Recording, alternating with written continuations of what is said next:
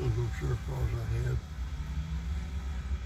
you'd be sitting right still and just hit it right straight to the floor, and it would break the tires loose, but then it would bog right down. Then it would go again. Now, I'm sort of thinking they had it set up that way, where you didn't just start off with your tires squalling, you know, and your fishtailing and all that shit. It, it would go, and it drop right down and pick right back up. It- It's just about like it was bogging under some other reason, but it, I don't think that's what it was.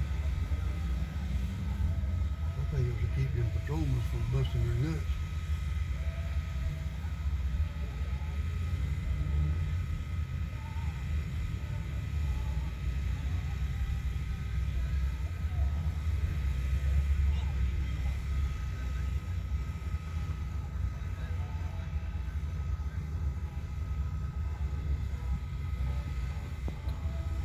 What's Randall doing tonight, son? You talking He's-? A messenger, I was. Is he going to work or is he He's off? out. He's about to get off.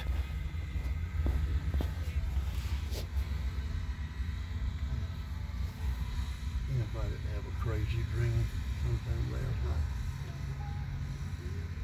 Hey.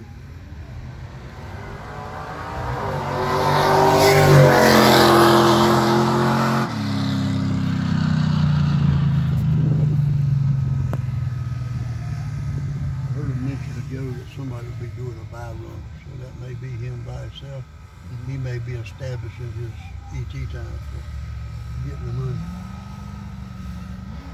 That was a little Mustang.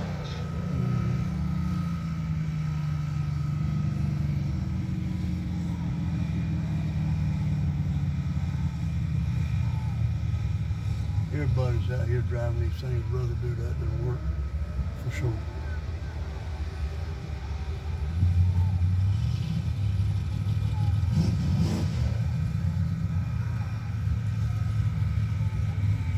They don't have much room on this end work. When you come up on the track, you- you're behind the lights, the racing lights, but you're not very far. When you back right on up towards that billboard, you drop off in a little pocket that they've made there, put water in, so you can burn your tires in there on that water, you know, clean your tires. Mm-hmm. Once you've done that, you can get up on the asphalt and burn them again. And to get that dirt off of them that you take with you.